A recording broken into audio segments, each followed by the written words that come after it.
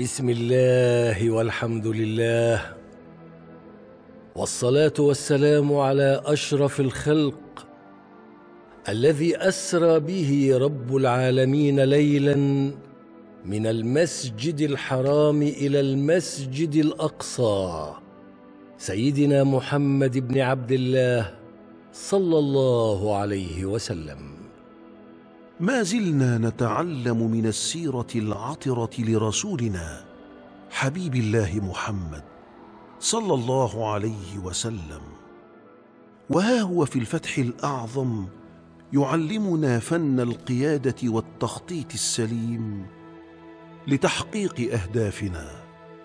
وكان الهدف الأول للنبي الكريم في فتح مكة هو نشر الرسالة التي أمنه الله عليها بدون أن يريق قطرة من الدماء.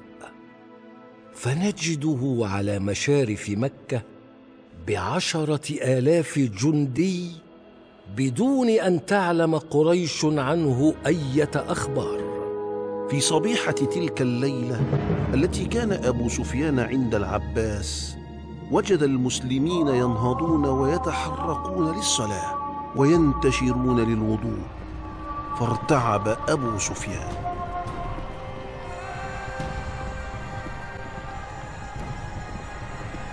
قال العباس لا تخف يا أبا سفيان إنهم سمعوا النداء فهم ينتشرون للصلاة سوف أذهب للصلاة معهم وانظر كيف يصلي المسلمون.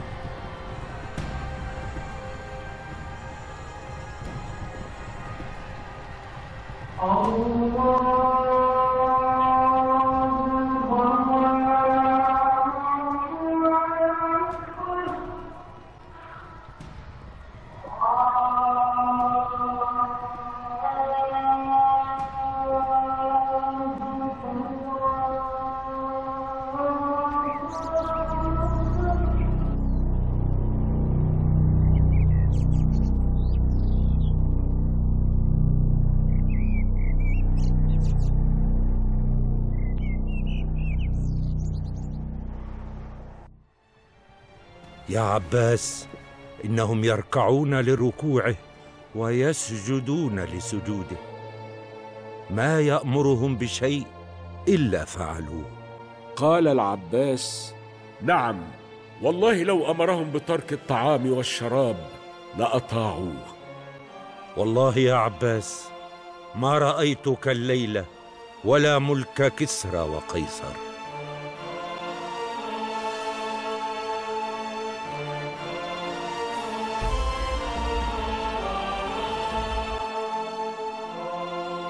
يستعد أبو سفيان ليسبق المسلمين إلى قريش برسالة رسول الله إليهم أنهم آمنون في بيته والكعبة وفي دورهم.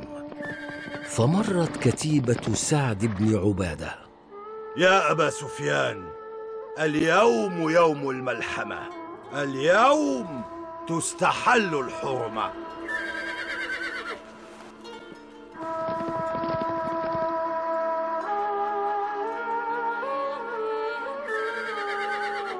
يا رسول الله إني أشتكي إليك ابن عبادة فهو يقول يا أبا سفيان اليوم يوم الملحمة اليوم تستحل الحرمة.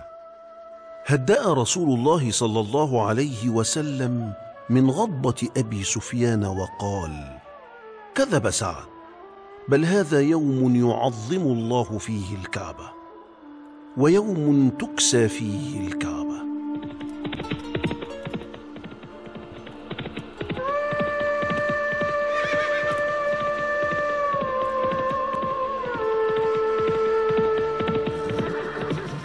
يا سعد أمر رسول الله بعزلك عن راية الإسلام وطلب أن يتسلمها منك الزبير بن العوام يفعل رسول الله ما فيه الخير والسمع والطاعة لرسول الله صلى الله عليه وسلم.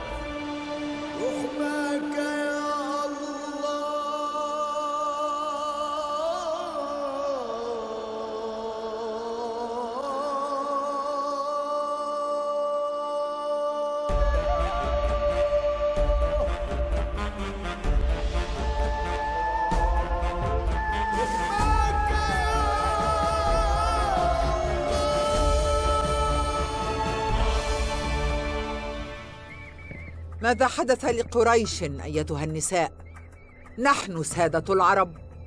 نصل إلى هذا الحد.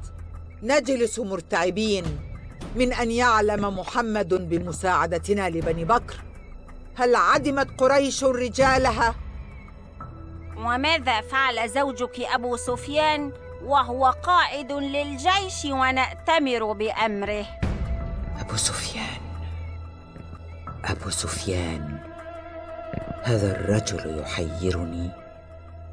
أراه أحيانا أشد الناس بغضا لمحمد وأحيانا أخرى أراه يتحدث وكأنه واحد من أتباعه. خرج أبو سفيان يتحسس الأخبار يا امرأة. لقد تأخر أبو سفيان يا هند وبدلا من أن ننتظر منه أخبارا عن محمد أصبحنا ننتظر أخبارا عنه هو. ربما اتبع محمدا هو الآخر وهجر إليه في الخفاء. ماذا؟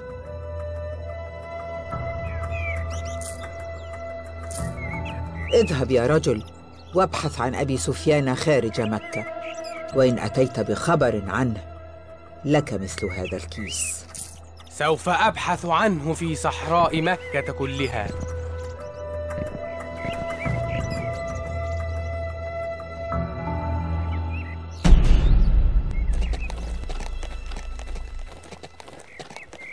أمر رسول الله أن ندخل مكة من جهاتها الاربع في آن واحد حتى يكتمل عنصر المباغتة.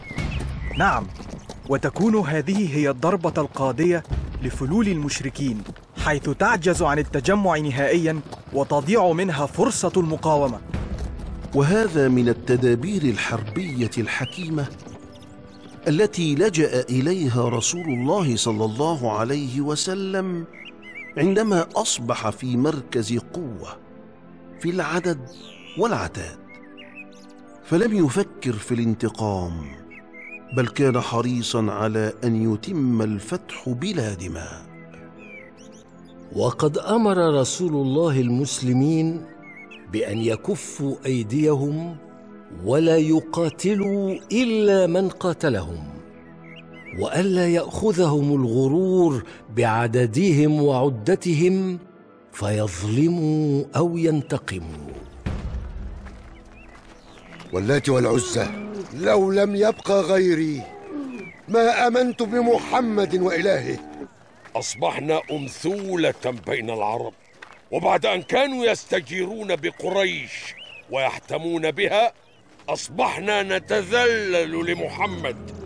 ونرجوه أن يمد لنا في الهدنة. أين كبرياء قريش؟ أين؟ أنا حماس بن خالد أمهر من يصنع السلاح ويستخدمه. واللاتي إن جاء محمد لقطعت رأسه بسيفي البطار. اذا أعد لنا سلاحا يا حماس. ونستعد له. وإن لم يأتي هو نخرج نحن إليه.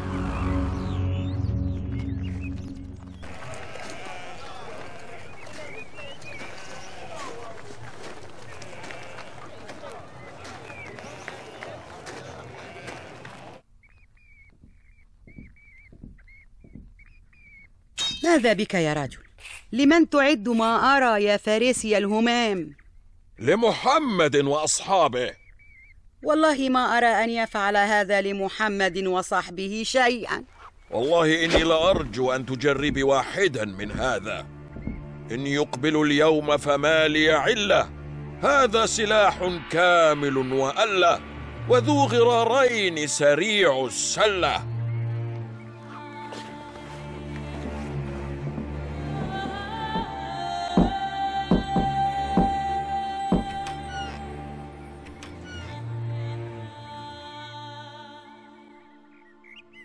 السيد أبو سفيان عاد إلى مكة.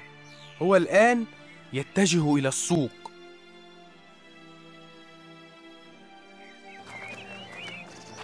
وجدته عائدا في اتجاه مكة فجئت أبشره وأستلم دراهمي يا معشر قريش يا معشر قريش هذا محمد.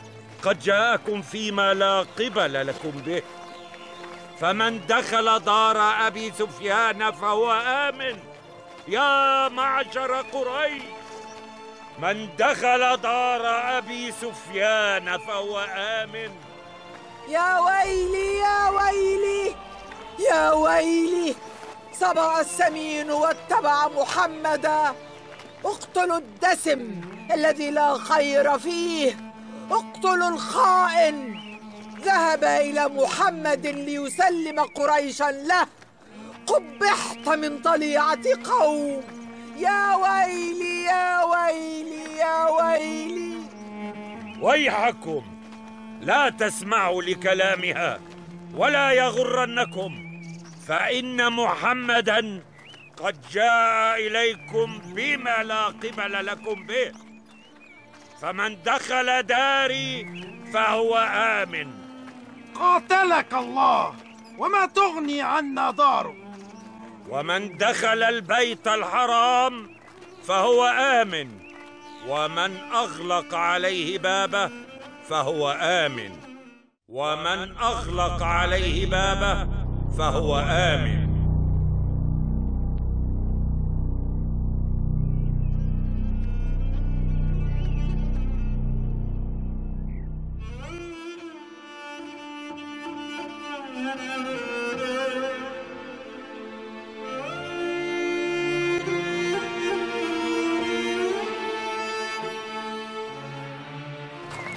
أحسنت صنعا يا حماس.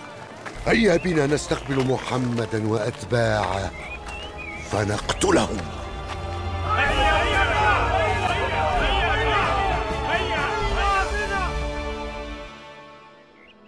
ما زال بعض المشركين المتهورين على عنادهم كصفوان وعكرمة وحماس بن خالد يجهلون ما هم مقدمون عليه.